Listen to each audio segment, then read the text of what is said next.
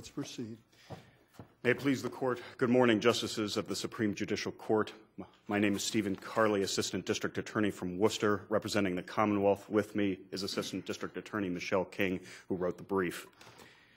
Though the case before the Court presents uh, an opportunity to improve and more closely define Massachusetts search and seizure law, I'd, I'd, emphasize for the Court this morning that the relief that we're seeking is actually fairly narrow. The reversal of the suppression of physical evidence uh, from the vehicle that was stopped. Um, three theories justify the reversal of the suppression of that evidence. This was a plain view search. This was a valid search incident to arrest and two of the uh, three defendants abandoned any expectation of privacy in the physical evidence. Only then, I believe, uh, is the court required to address the concerns about whether automatic uh, entry or reentry orders for passengers um, is justified under Article uh, under Article so, 14. So is what you're saying is that we wouldn't, we don't need to reach it because, in your view, it is a plain view search, people abandoned, et cetera? Is that, is that I right? think that's, in terms of the physical evidence that was suppressed, those, uh, the physical evidence should be not subject to suppression because of three different bases for uh, concluding that the search was lawful. Without reaching. Without your... reaching, because the the two passengers who exited the vehicle, I believe that if that if there was an unlawful seizure of those two individuals, only observations or further evidence resulting from that unlawful seizure would be subject to suppression. But the physical evidence was remained with the car and was found with the car, and therefore any theory that justifies the search of the vehicle and the seizure of that evidence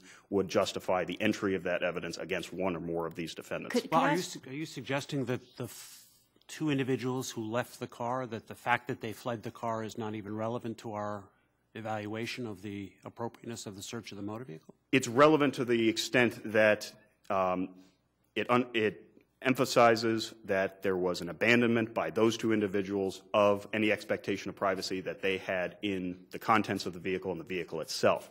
And so with respect to those two individuals, the abandonment argument, I think, is dispositive. Those two individuals clearly manifested no intent to exercise any or to continue to exercise any control. They left and showed no intention to return. To return. And I One take it that they left before the police said anything about stay. That's correct, because uh, the testimony was that as soon as the individuals exited the vehicle while the vehicle had after the vehicle had come to a stop, only then did the officer exit from his vehicle and ask them to stop. It was their uh, motion, it was their attempt to flee that triggered his uh, seizure order. So the judge made a finding that they didn't look around. There was no reason to think that, uh, was there, uh, based on her findings, that they left doors open, or you're characterizing it as fled, but you could read the judge's findings as they got out of the car and they went toward the house. So uh, she yes. didn't, she did not find that they had abandoned anything.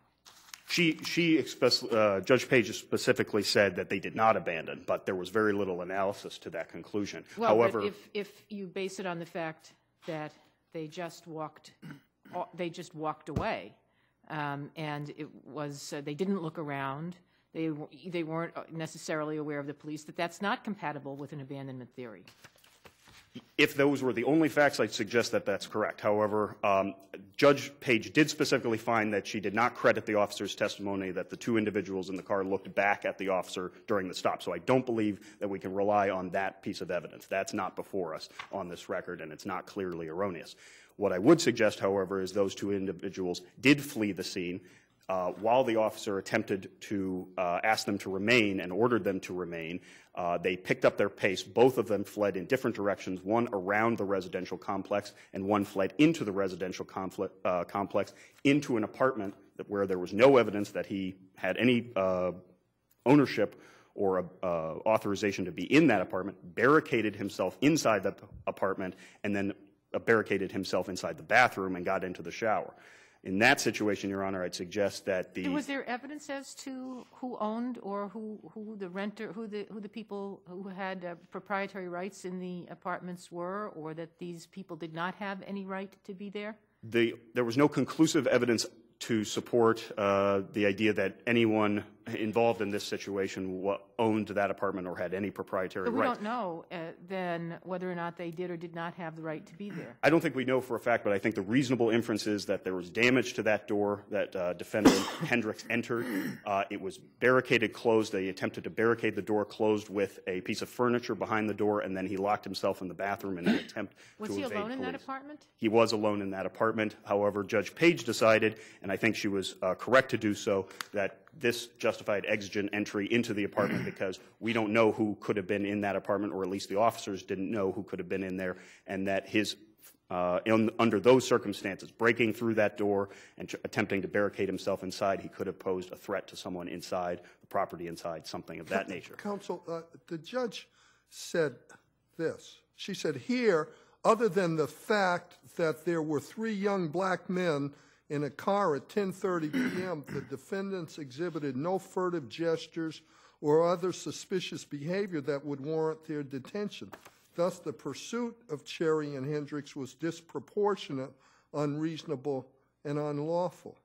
If, if the judge was the finder of fact and she concluded there were no furtive gestures or other suspicious behavior, isn't her conclusion correct? I believe she found that there is no, there were no furtive gestures, and I believe I the just read to you what she Yes, found. and, and I, and the court, and I believe the Commonwealth is bound by the no furtive gestures finding, because it's the- up to the judge to decide what the Or testimony other was. suspicious behavior?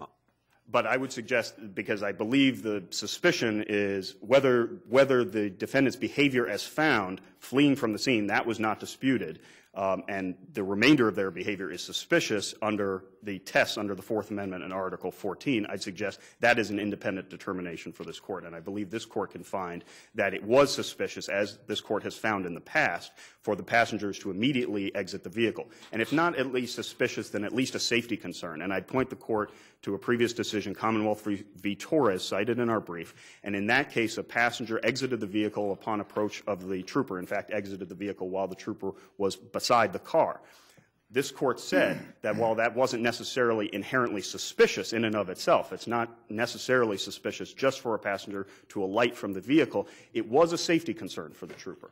And in this instance, if the, if it's true that reentry orders should be examined the same as exit orders, as this court did in Gonsalves, then I'd suggest that the passengers leaving the vehicle and fleeing the scene is at least a safety concern for the, Just for the that officer. up for a minute. I, I, ca- I understand the principle that if somebody's getting out of the car for a, an infraction, be it motor vehicle infraction, and hanging around, you might wonder, you're the only police officer there. These individuals left. They're not there anymore. As far as the officer could see on a dark night in a, in a only fairly well-lit area, One went into the building, one went around the building. that the officer learned later. But the situation the officer was Not there. presented with after, or uh, at the time where he was left alone with the driver at the side of the vehicle, those two individuals had fled from his sight and he didn't know if they would return. Principle is Yes. that when there is a motor vehicle infraction, there is no evidence in addition to that of furtive gesture or anything else that gives rise to suspicion. Passengers leave and walk away, you suddenly have the basis to search I don't think that you didn't have before. I don't think the, What's the principle? I don't think the facts present that particular principle or would necessarily justify that particular Those are the principle. findings. Those are some of the findings. However, I'd suggest that there were additional findings, or, or at least uh, evidence to support the theory that this was an unfamiliar area, well, not an unfamiliar area, but these were unfamiliar individuals to the officer. This was at night in an area where pre, uh, crimes had occurred. Um, so this was a high crime area, and I think it's justified under the circumstances where the officer is outnumbered three to one. And now that those individuals have left But- the but- area but could return, that legitimate safety concerns should allow the officer to May just... I interrupt you? Yes, of course, Your Honor. The, the reason for the stop was it was a traffic offense. That's correct. A minor traffic offense. That's correct, Your Honor. And, and so you're saying even when the offense is a minor traffic offense, if people leave, that's a basis for a concern for safety? It is, Your Honor. I'd suggest it is, especially under these circumstances. what Where it's at night and the officer is outnumbered, he has no additional support or backup in the area. So then a police officer can search when, whenever there's an offense? No, Your Honor, A- no. That is not, that is not the rule that we're asking for. The rule that we would be asking for with respect to the fleeing passengers was only that upon approach to the vehicle for a motor vehicle stop, that the officer would be allowed to maintain the status quo, just have the passengers remain inside the vehicle long enough to complete the reason for the stop. That would be issuing a citation for the failure to stop at the stop sign and checking the, uh, the, uh, the driver's license and registration. That couldn't happen here because those passengers left. If no further suspicion uh, arose from that situation, if no further safety concerns arose from that suspicion, and the reason for the stop is complete, the driver and the passengers would have to be on their way. We are not asking for more authority than So a mother and, and a child who has to go to the bathroom badly, and they stop for that reason, and the police uh, have uh, basically come up in the same circumstances, but the people who get out of the car are the mother and the child to go into the building to use the bathroom.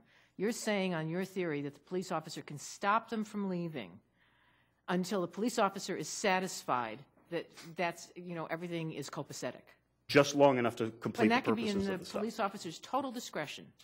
Yes, Your Honor. Well, I don't, and I, and I understand that these are, the, it would be up to the officer under that situation, under the principle that we're asking. And I don't think that just because that the officer would have the authority to do so would mean that he would prevent the mother and, or the Can't make a rule that goes on. No. We think people will behave nice, you know, No, I, nicely. I understand the court's position on that. I understand that. But I think because it would, because the rule that we're asking for is limited only to effectuate the purpose of the stop and no further, assuming no further safety concerns arise, assuming no further suspicion arises, the reasons for the motor vehicle stop, you, I mean, the driver may have to use the restroom. The driver could be a pregnant woman who, Different story. But the driver is the one who's committed the infraction. That's It's the correct, Your driver. Honor. Yes. And unless, uh, you'd have maybe some better arguments if there weren't people wearing, if maybe they weren't wearing seatbelts and there was another civil infraction that involved the passenger. But this didn't involve any passengers. No, no civil problem. infractions by the passengers. That's correct, Your Honor. But No Arizona versus you know of. Johnson makes it quite clear that when a car is stopped for a traffic violation, everyone in the car is seized. Isn't that the point? That's correct. And when And- the person attempts to leave, the officer is well within his jurisdiction to say, return to the car. Yes, I think so. And I believe that's the rule both under Article 14 and the Fourth Well, Amendment. how, how far That's what can you're a, asking for. How, how far can a police officer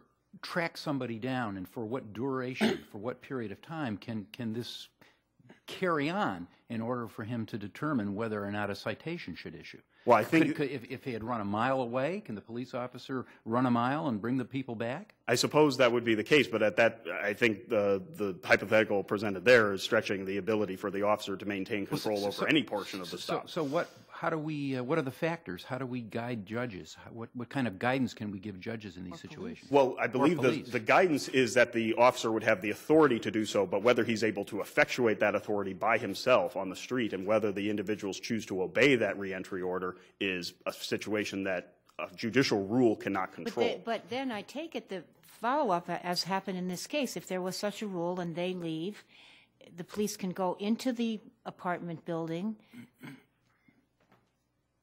tear down the wall, the, the door, and, and go in and find them. Is that what you're saying? No, I don't believe that entry into residential premises would be authorized on just this rule that we're asking for. The uh, entry in this situation was authorized by exigent Yeah, but- circumstances but if, if created what you're by saying additional. if somebody chooses not to obey the Yes. order to stay around Yes. or stay in, yes.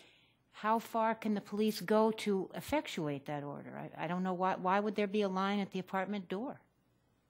There wouldn't necessarily be a line at the apartment door if, assuming the order is lawful, then now we have the, now we have a situation where the passenger has disobeyed a lawful police command. And in that case, that itself is a crime. And so I'd suggest under those circumstances, then you would have to evaluate whether there's, a, whether there's exigency and appropriate probable cause to enter the, the residence. Can I just ask We you a have to decide that issue. No, I don't believe you do. We're just looking at the search of the car here. Is that the only thing we're really looking You at? don't have to decide that issue, and that, that would be my final point. I'd like to bring it, bring it back to the suppression of the physical evidence. Yeah, This was a if I can actually ask you one question. With regard to abandonment, let's assume the Commonwealth claims abandonment. How does the defendant rebut the claim of, of abandonment? Except by admitting that he still claims possession. I don't, I don't think that's a concern for purposes of the suppression, Your Honor. I think that's a trial, a matter of trial strategy for the defendant. The defendant would have to decide whether it was better for him to assert uh, control over the vehicle in order to, uh, he has automatic standing to challenge the, um, the abandonment, and therefore he can, you know, muster whatever evidence at a suppression hearing If he has likes. standing to claim it, and the Commonwealth says he abandoned it, how is the defendant supposed to rebut that, except to say, no, I didn't abandon it, I still intended to maintain possession, and that's, of course, the element of the crime. Well, then I, only through the suppression hearing, I suppose the, the defendant may have a basis, on a, on a- in a sense, it's a double-edged sword. If he, if he attempts to, uh, to justify the abandonment, uh, or excuse me, justify not abandoning, he may have, end up implicating himself in the possession, the ultimate possession crime, or at least providing some evidence. But I don't think it's conclusive on that point.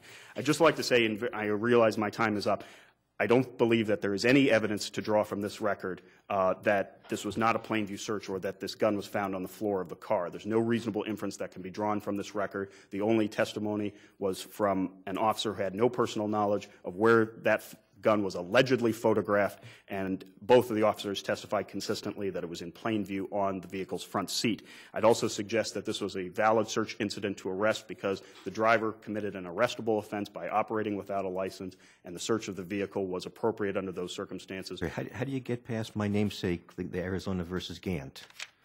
Arizona versus Gant recognized, and the appeals court in Commonwealth versus Young recognized, that an exception to Gant exists where people remain, uh, where others besides the person secured away from the vehicle remain with, uh, continue to have access to the vehicle. And in this situation, those two individuals remained at large and could have returned to the vehicle and accessed the vehicle's interior. Can I just ask you a question about that? course, Your Um, uh, okay, you've got the, they've gone.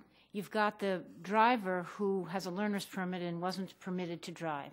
Why, given that, and as you say, it's an arrestable offense, why wouldn't the car be towed to the police station? It, it would be towed, I believe, So- Your Honor. So, so why are we worried about what the other two are going to do? Because you're going to tow it. It may not, as I said at the beginning, I don't believe it matters necessarily for the suppression of the physical evidence. You have a plain view search, you have an uh, incident to, a search incident to arrest, and the fact that the two individuals were unlawfully seized, as Judge Page says, doesn't affect the, uh, the suppression or the seizure of the evidence within the vehicle. They have fled. The seizure occurs outside the vehicle and away from the physical evidence. And so I'd suggest that the seizure of the physical evidence uh, rises and falls with if this court finds there was a plain view search or a search incident to arrest or inevitable discovery or Did- Did you make an inevitable discovery? no, already? it was not made in our brief, Your Honor, and it was, there was no inventory search um, uh, argument made in the brief either. That's correct. Uh, I see my time is up. Thank you very much. Thank you, counsel.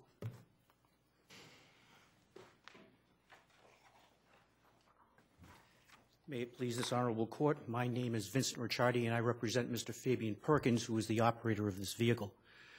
On behalf of Mr. Perkins, I'd ask this, this court to uphold Judge Page's decision to suppress all of the physical evidence in this case.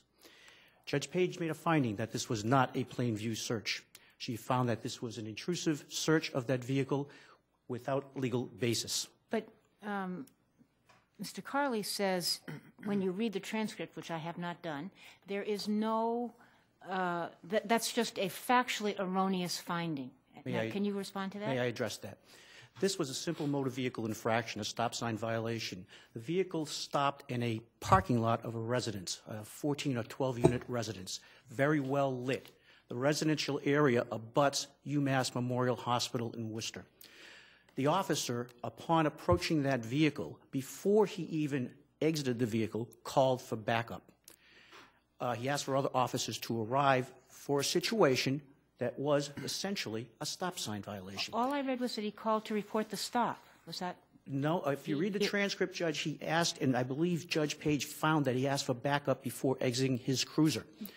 In, in that light, Judge, uh, again, he exits and he approaches and he sees the two passengers, and in his words, I believe, nonchalantly walking about 15 feet into the residential complex. He yells to them and they proceed into the complex. Running. Ru- One runs, one walks. I believe that one walks up his pace. Pace. pace. At that point, he approaches the driver, Mr. Perkins, who is sitting, sitting there. He He grabs him out of the car at that point, and with the dome light on and with his flashlight lit, he's looking in the car, and according to Judge Page and according to the record, he sees nothing on that seat. He sees no weapons whatsoever. In fact, I'm, s- I'm sorry, Judge. I'm, I'm listening to you, but I did read the transcript. So it, he says on uh, being prompted to say, yes, he did have a flashlight. Yes, he didn't notice. And he later says, you know, I wasn't looking for a gun at that point. I didn't notice a gun.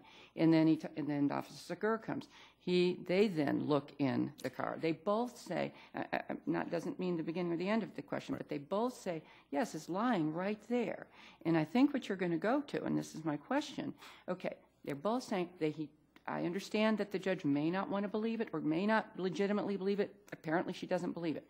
Here's my question How do they get, when the photograph is not in evidence, how did she get it to the floor of the car in some way that isn't visible to anybody, even though I understand there is a photograph, or at least there's an allusion to a photograph, and you know it may have taken been taken in a different position than when it was found, but we don't know that. How do you um, may- replace the credibility issue with positive evidence of where the gun was found? Judge, I believe the credibility issue with regard to Officer Lavin and Officer Segur is st- strategic to the, to the judge's decision here. If I may address that. Officer Lavin initially stated that he asked Mr. Perkins to get out of the car, and he did not handcuff him, according to his testimony, original testimony. He did not handcuff him until after that gun was found. Upon reviewing his police report and upon reviewing the grand jury minutes, he then found, uh, he then testified that he immediately, immediately upon getting Mr. Perkins out of the car, he cuffed him. When Mr. Perkins said he didn't know the identity of two individuals, he cuffed him and brought him to the back of the car. I accept that there was a lot of A lot of- inconsistency, but where do you get the evidence of the gun being in a place where it wasn't in plain view? That, that's the concern. According to, well, it was photographed on the floor of the vehicle.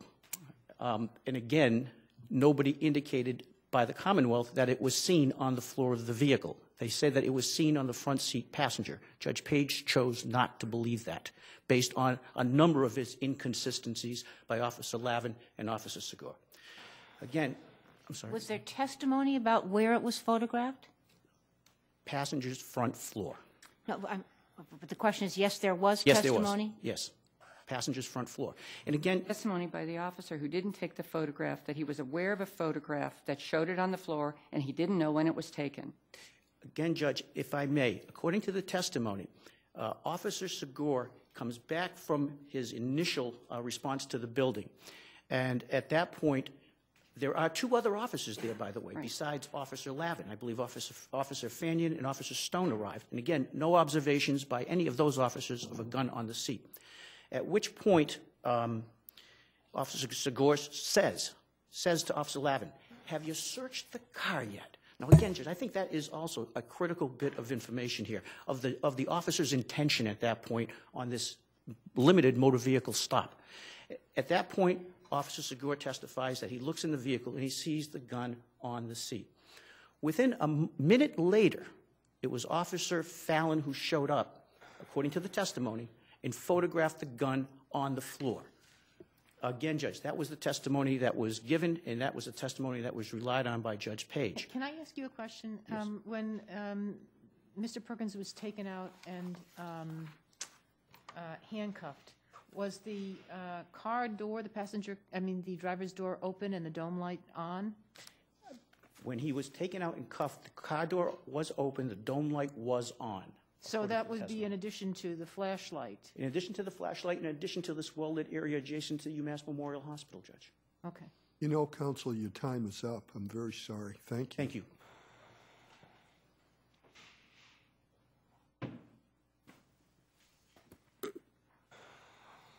May it please the court, my name is Brad Benny, and I'm here representing um, Mr. Hendricks. Uh, He is the, the person who was found in, uh, or who was uh, at the stop in the uh, front passenger uh, seat. Uh, The one who exited the vehicle and was ultimately found in the apartment. Unless there are any other questions, I'd, I'd like to discuss with my time the reentry order. If I, if I just, just to be clear, there was nothing found on his person. There were no fruits that arose from his seizure, correct? Right. There was nothing found on him.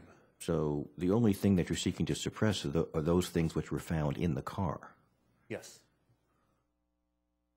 So Because he's being, just- he's being prosecuted for the gun. drugs and the guns.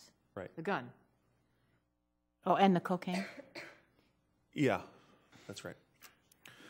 So, as Justice Cordy said, um, under the federal constitution, there's a seizure during the traffic stop, uh, and uh, a passenger uh, can be given an order to remain in the car. This is uh, an open question to the states with respect to state constitutional law. It hasn't been addressed here, and this is the first chance for you to to address it. Um, states have gone in a different direction. I, I think it's safe to say that a majority of states have adopted the federal stance, which seems to be burdensome and heavy-handed. And there's no Burdensome and evidence. heavy-handed. Uh, I mean, there's a traffic stop. There's been a violation. There's an officer. Uh, don't you think that the officer has the right to maintain the status quo while he or she does what needs to be done to investigate the violation? I don't, and let me explain why. Because uh, these types of scenarios depend on facts. So, for I give you a, a nice uh, pattern in my uh, brief with respect to a police officer uh, coming upon a man uh, who was jaywalked to meet an acquaintance on the other side of the street.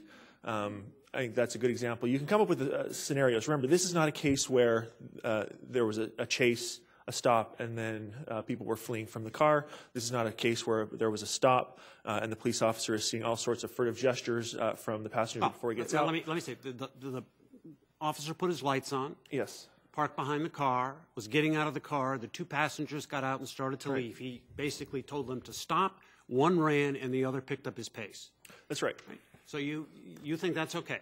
The officers just live with it. Just Well, live with it. It's again, okay. Uh, in this case, yes. Uh, the the, uh, the How's word- an officer to know? How- How's an off- police officer to know? You say this case, but how is an officer to know that anybody in the that, that leaves the car isn't positioning themselves to uh, to attack the officers? And, and isn't that a, reasonable expectation on the part of the police officers to protect his own safety? No, because as I, as I say in my brief, not every minor traffic stop needs to be approached with guns drawn. But, but how does the officer know? The, the most innocuous police stop could result in death. That's that's true. Um, but again, And, and, and it's, it's, it's not too much to ask people to stay in the car until the police officer finishes with the. Uh, that depends on the person and whether they want to engage in a conversation and be subject to questioning from the police officer. I mean, in in in this Commonwealth, case law is clear that people do not have to uh, engage with police officers if they've done nothing wrong. They don't have to engage uh, or answer questions from police officers uh, just for being uh, with somebody who has committed a minor traffic violation. The car is seized, though, and that protects the individuals as well. They're all deemed to be seized because the court has concluded they wouldn't feel free to walk away. I certainly wouldn't feel free to walk away from a car that's been stopped by a police officer, would you?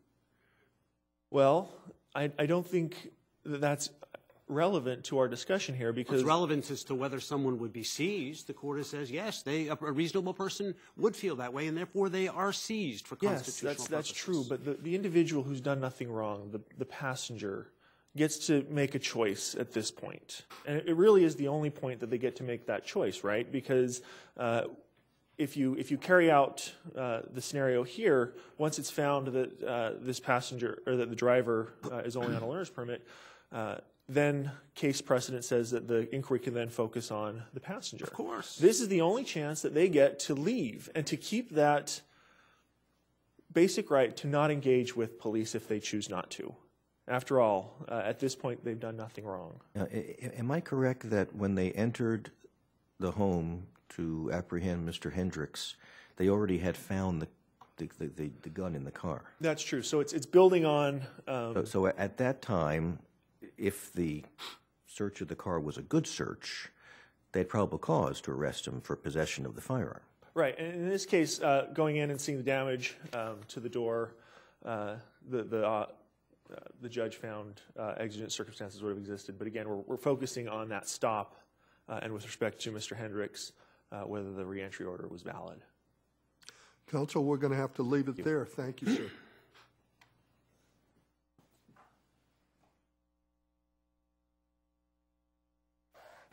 Good morning, Your Honors. Greg Batten for uh, Elijah Cherry.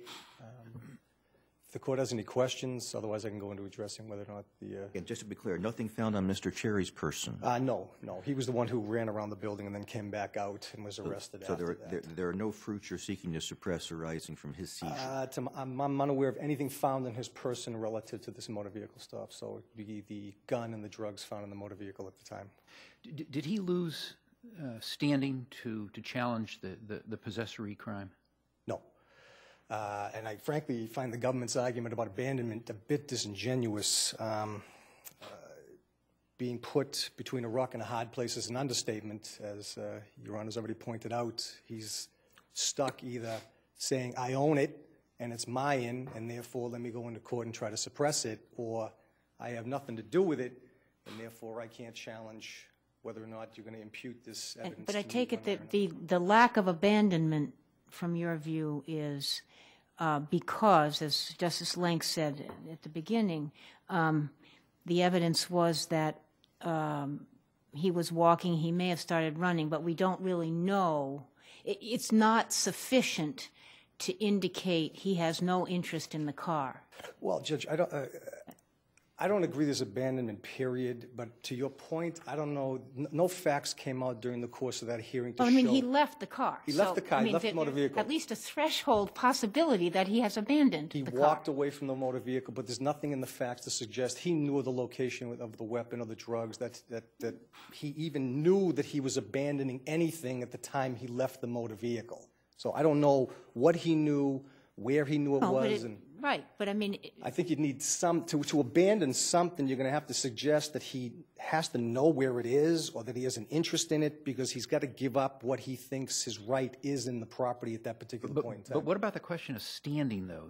Did he abandon standing to raise the issue by fleeing? Uh, no, no, because we're charged with a possessory offense, and we have a motor vehicle where passengers are in the motor vehicle. They're seized when the blue lights go on, and it's reasonable to uh, assume clearly that the driver of the motor vehicle has a reasonable expectation of privacy in that car, which is then passed along to the passengers. So no, it's automatic under those circumstances because those two criteria are met. Abandonment runs afoul of that because if you did, you know, if you got to stand up and say, well, as just as Gants pointed out, uh, I, I, I left the property and I abandoned it.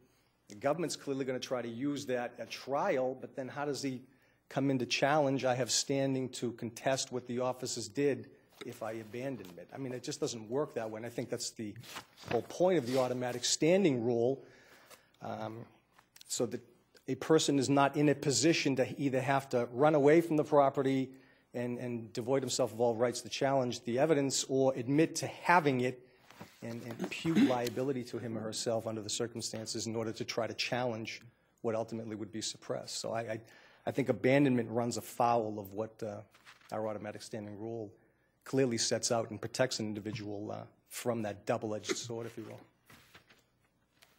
Any other questions? Uh, Thank you, sir. I'll, I'll be brief. I just, I just do think that uh, Mr. Cherry was seized at that point in time. Um, and to be brief, I think the government's request for a bright line rule, uh, ordering passengers to remain in vehicles, order, order them back, um, stop, come back here, get back in the motor vehicle, uh, clearly is a seizure that requires some sort of justification, in my opinion. So let me just explore that. You think he was seized, but you don't think he was seized? No, I think he was seized because of the motor vehicle stop.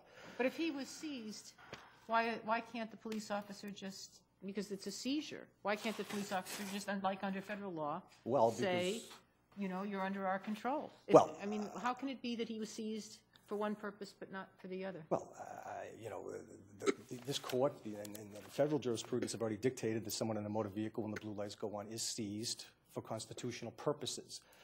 This court, and in in this state, we've gone so far now to say that, well, you know, the purpose of the stop defines the inquiry. We're dealing with the driver under the circumstances for the motor vehicle infraction. What do the passengers do to warrant further intrusion by the government? Well, I, I, I go ahead. I suppose to the to some extent, th- there are there should be some consequences, and, and the consequences, I take it, you might say, are well, he could be charged with violating the lawful or disobeying the lawful order of a police officer, but that doesn't go to the suppression issue. That's, but the order to stop and stay is based on what? The passenger is not associated with what we have in this limited case, the motor vehicle infraction. You, th- this court has held already. The passenger, you got to point to specific and articulable facts relative to the person To order him to get out of the car. to order him to get out. But for federal constitutional purposes, Fourth Amendment, we can't avoid this. He is seized. He is seized, but it doesn't justify government intrusion. It Doesn't justify enforcing the seizure by saying you really are seized. Well, it doesn't, it doesn't. You're seized for our purposes because you happen to be in the car. But we take it to the next level. Okay, if you want to address government action as it respects to the front of the backseat passenger, tell us what that person has done for you to inquire, ask for identification, keep your hands where I can see them. Something has to happen with respect to the passenger. Now, I'm not saying. It happened. Stay in the car. For what, but why does he have to stay in the car when this court has made? Because I, because I, the police officer, don't want you to, to go 50 feet away and position yourself where my, my safety might be endangered. Oh, what? What's he done? He doesn't. What, when when I come to the conclusion that because someone It's a reasonable order. it's not a reasonable order without justification. If they have, if you have to order them out of the motor vehicle based on specific and articulable facts, or a fact that suggests the officer's safety or safety of others are in danger, you got to impute something to that person merely not getting out of a motor vehicle and walking away. How is that a safety concern for anybody? And this Counsel, we got to leave it there. Thank you, Thank Judge. you.